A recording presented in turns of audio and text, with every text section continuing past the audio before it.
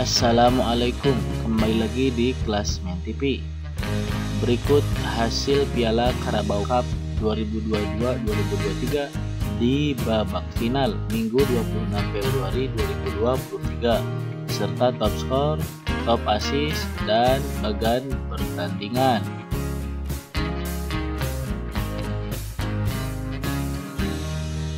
Jangan lupa like, comment, share, dan subscribe channel ini agar kamu tidak ketinggalan info dari kelas TV.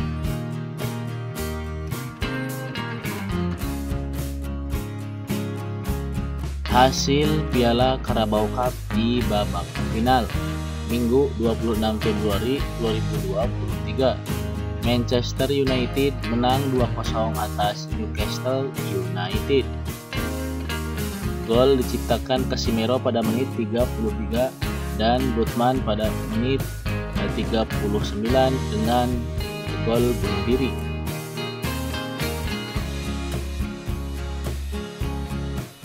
Sehingga untuk gambarannya adalah sebagai berikut.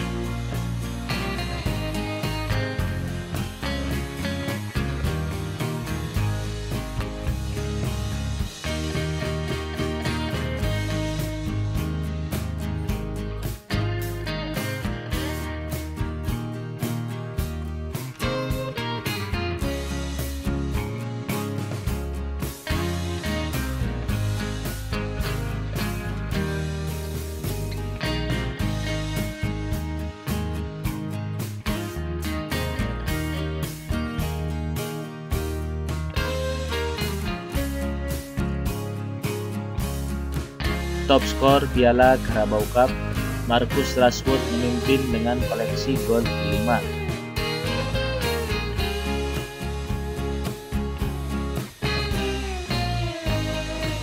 Untuk top assist Piala Carabao Cup, Basayo Dele Bashiru dan Kieran Lee memimpin dengan torehan assist 3 kali.